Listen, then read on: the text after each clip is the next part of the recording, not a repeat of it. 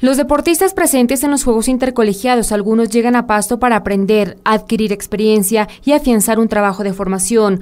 Otros, por el contrario, con trayectoria tienen como meta la final nacional.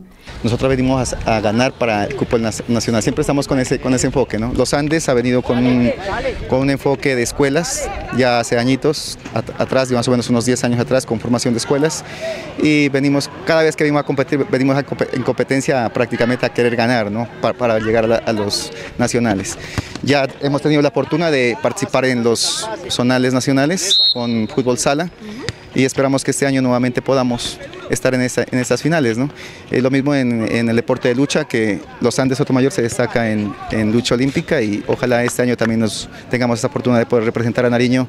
Nariño en el año anterior ha logrado figurar en el país obteniendo cupos al suramericano de este programa escolar.